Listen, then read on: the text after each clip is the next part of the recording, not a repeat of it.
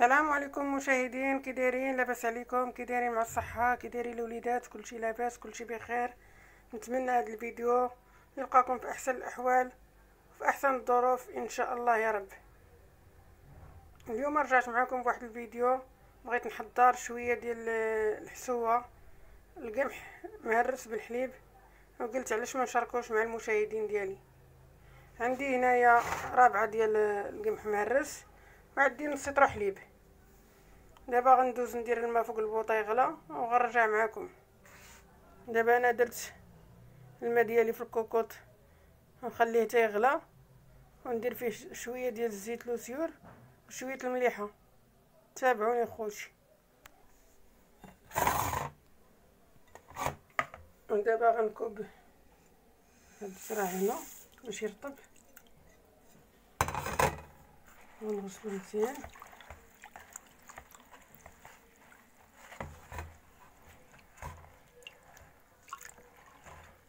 تحيد منه داك الغبرة وداك كانت فيه شي حاجة كطلع الفوق. أنا نقيته مزيان. المهم كنغسلو ضروري ما نغسلو ونديرو يرطب شوية في الماء. هانتوما البنات من بعد ما غلى ليا الماء مزيان.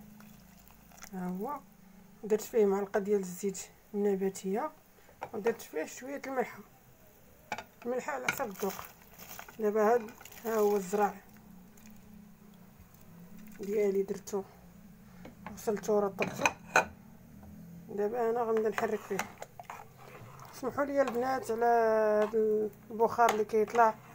ما خلاش الشاشة تبين مزيان. أنا غنبعد شوية باش يبان.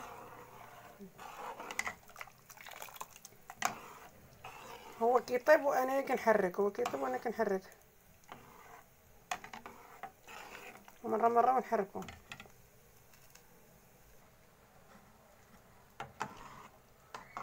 ونستمر في التحريك باش ما يلصقش ليا الكوكوط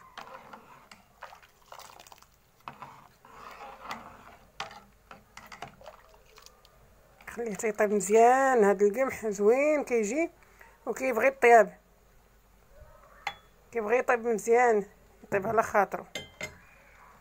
ونخليه يطيب على خاطرو ونرجع معكم هانتوما من بعد ما ضربت ليا الحشوه ديالي هي كيف جات طيبه مزيان. ودابا غندير ليها الحليب.